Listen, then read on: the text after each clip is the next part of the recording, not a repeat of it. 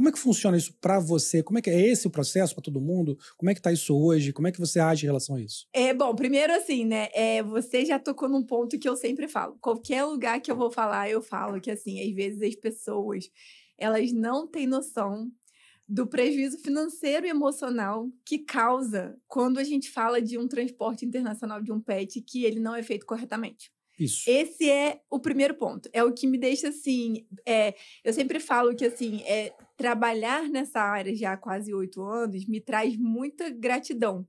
Porque não é só compensação financeira, isso é um resultado.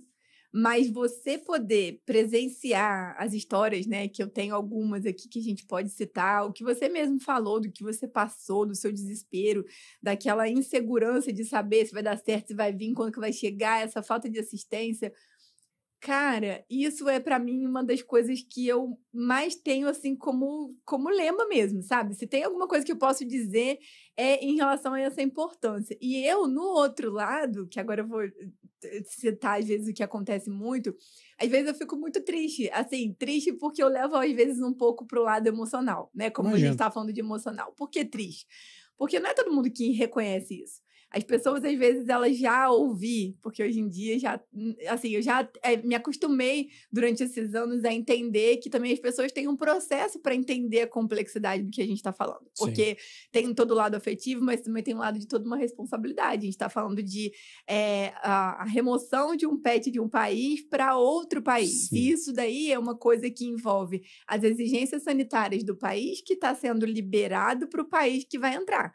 Então, toda vez que a gente fala sobre mover um animal de um país para o outro, sempre o país de destino é onde vai ter a cartada, né? Quem vai dar as cartas é quem está recebendo o animal, não é de onde ele está saindo. Entendi. E é isso que faz a diferença que muita gente às vezes não sabe, como essa questão de eu ficar triste, porque eu já ouvi coisas assim: "Nossa, mas você vai me cobrar uma consulta só para poder você me dar um preço?" e eu brinco e falo: "Gente, eu não vendo Natura Jequiti, não sei nem pode falar o nome aqui, né? Mas assim, não dá para pegar ali na estante e dizer, olha, no, car no caderninho, entendeu? Assim, mas assim, é porque a pessoa não entende que é uma coisa customizada, tem a ver com as necessidades, tem a ver se ela pode trazer como carga ou se ela tem, por exemplo, o animal tem peso suficiente para vir dentro da cabine, como você falou com o seu biscoitinho do Meu biscoito. Você, é, veio no seu colo na cabine, uhum. porque tem uma, uma questão de peso limite para você trazer acompanhado.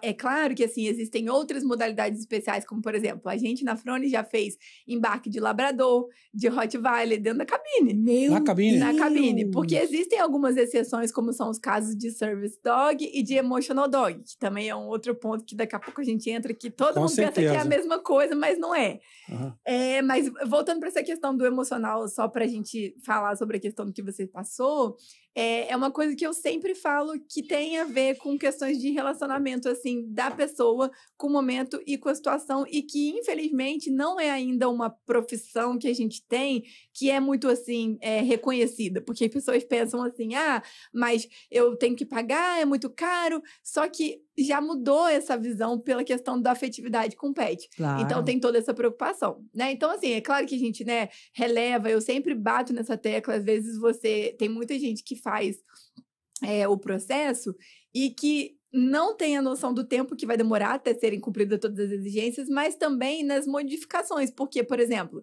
tem épocas que determinadas companhias aéreas não aceitam embarque. Outras épocas que, por exemplo, por conta da temperatura, é influenciado. Se a temperatura estiver muito alta, você pode ter um embarque que você tiver reservado, seu cachorro não vai embarcar. Ah. Porque tem toda uma questão de preocupação em relação à questão de estar frio demais, ou então de estar com a temperatura muito alta. Então, assim, são pequenos Quantidade detalhes. de cachorro também? Quantidade de, de animais pet, né, por, né, que tem né, assim, de pet por voo. Normalmente, dentro da cabine, são três animais na aeronave, de três a cinco, depende da companhia aérea.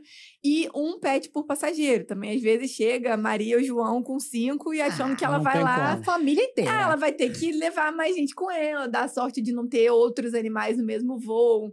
Mas assim, é, é, existem algumas coisas que fazem essas determinações. É claro que existe, a, primeiro, né, aquela é, necessidade que é, ah, é, eu vou primeiro, eu quero levar depois, como aconteceu com vocês. Vocês já estavam aqui quando os animais vieram, mas tem aquela pessoa que ou tá vindo de vez e precisa vir, não tem mesmo mesmo com quem deixar, ou até mesmo, às vezes, é a situação que, que assim, a pessoa quer ir ao Brasil buscar, ou às vezes não pode buscar. Então, até nisso que quando a gente começou a pincelar sobre os serviços oferecidos, se hoje a pessoa tem necessidade de não poder ir ao Brasil, do animal não qualificar para embarcar dentro da cabine e ela precisar trazer ele sozinho como carga sem ninguém, a gente consegue atender. A gente tem despachante é, tanto no Rio quanto em São Paulo, que são os dois portos que, né, os dois Sim. pontos de embarque internacional que conseguem fazer é, toda essa questão da liberação aduaneira, porque Não, no Manaus Brasil, também faz, hein? É, mas aí vai fazer um voo doméstico para São Paulo para o Rio. O embarque internacional Bom, sempre Ah, é, tem que é. ser de lá. É, porque na Pode época... ter o despachante, né? É, não, assim. e na época também, quando eu trouxe o biscoito,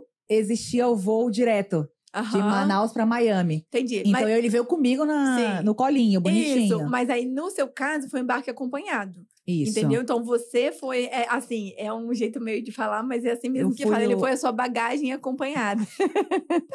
é, aí nesse caso é dispensada a obrigatoriedade do despachante. O despachante hoje no Brasil, ele é obrigatório para quando o pet embarca desacompanhado. Sozinho. que tem que ter a liberação é, aduaneira, aquela questão da vistoria que é feito, com as taxas, com os impostos, tudo isso é No levado em nosso consideração. caso não teve jeito, porque não- na época não estava podendo entrar na cabine, não estava aceitando É, cabine, não tinha jeito. Ah. Então, na época, foi assim, foi obrigado aí como carga.